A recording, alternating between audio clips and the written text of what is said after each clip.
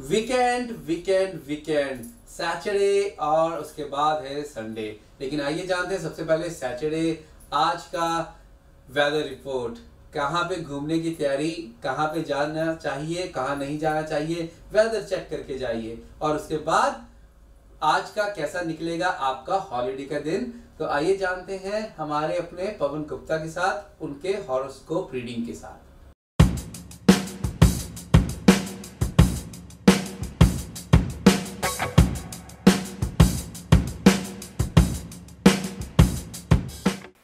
नमस्कार दोस्तों, मैं हूँ एस्ट्रो पवन स्वागत है आपका हमारे इस प्रोग्राम में, जिसमें हम बात करते हैं आपकी राशियों की। कैसा रहेगा आज का दिन आपके लिए, करेंगे चर्चा इसके ऊपर। सबसे पहले शुरुआत करेंगे आज के पंचांग से। आज 26 दिसंबर 2020 और जो दिन शनिवार का रहेगा, शुक्ल पक्ष की जो है वो आज एकादशी तिथि रहेगी।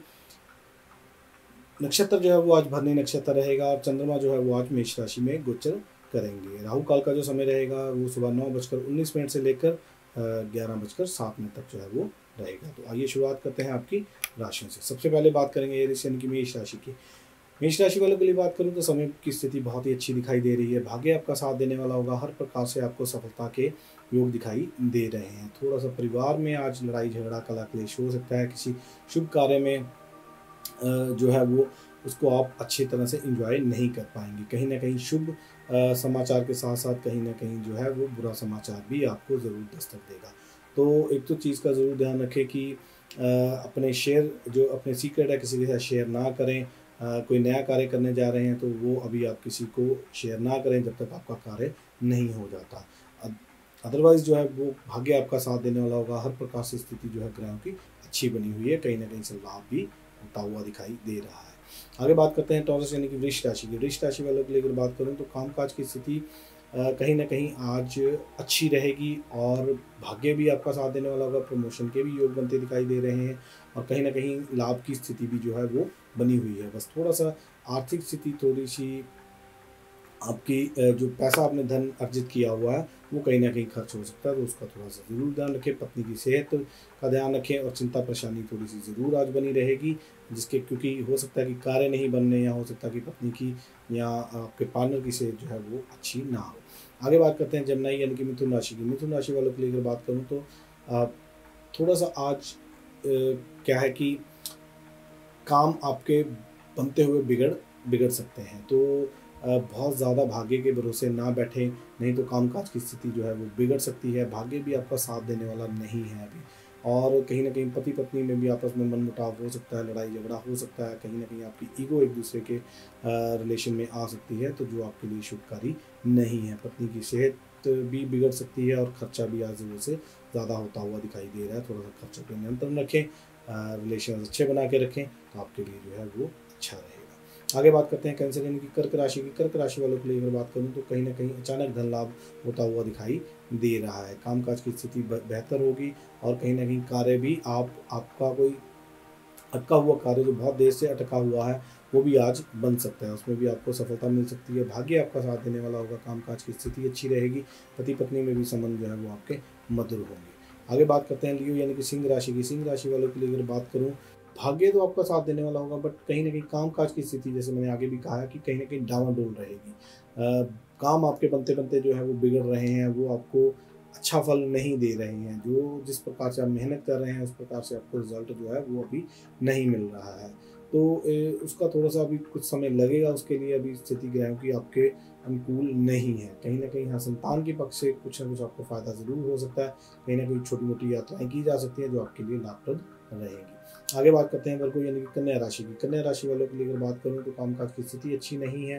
पिता की सेहत को लेकर, बुज़ुर्गों की सेहत को लेकर समय अच्छा नहीं है। चंद्रमा की स्थिति भी बहुत ज़्यादा अच्छी नहीं है, जिसके कारण चिंता परेशानी आपकी लगी रहेगी। कामकाज की स्थिति भी कहीं ना कहीं आपको नुकसान कर सकती है। हाँ अगर आप बिज़नेस करना चाहते हैं तो वो ज़रूर किया जा सकता है।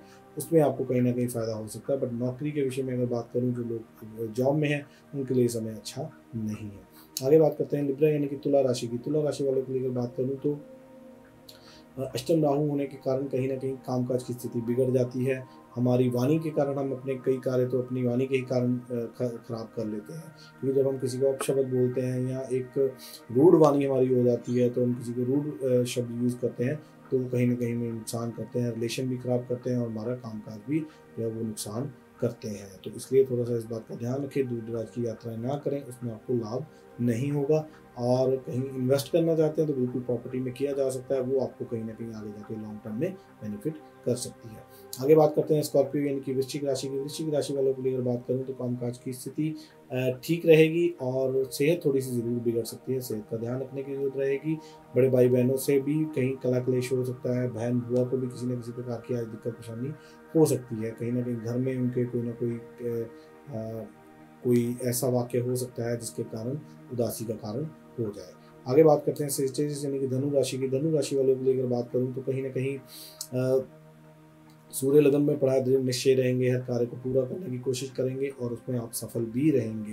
राहु की स्थिति भी बहुत अच्छी है अगर कोई कोर्ट कचहरी का चक्कर चल रहा है तो बिल्कुल उसमें आपको सफलता मिलेगी और अगर आप कोई कोर्ट केस करना चाहते हैं किसी के खिलाफ जो जेनुन है तो उसमें आपको ज़रूर सफलता मिलेगी, वो आप ज़रूर कर सकते हैं, उसके लिए समय आपके लिए अच्छा रहेगा, शत्रु आपको तंग नहीं कर पाएँगे, और अगर आपने कोई लोन लेना है लोन अप्लाई किया है तो उसमें आपको जो है रिज़ल्ट अच्छे दिखाई दे रहे हैं।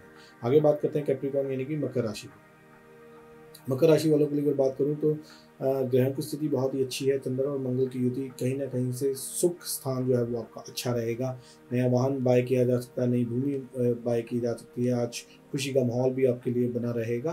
कामकाज की स्थिति भी बहुत अच्छी रहेगी और कहीं ना कहीं माता का शीवा लेके, माता के प्यार माता के साथ मेल मिलाप भी आज हो सकता है। अगर आप कहीं दूर रहते हैं तो उनके आशीर्वाद से आपके हर कार्य ज़रूर बनेंगे। बस उनकी सेवा करें, उनका आशीर्वाद लें तो आपको सफलता ही सफलता मिलेगी।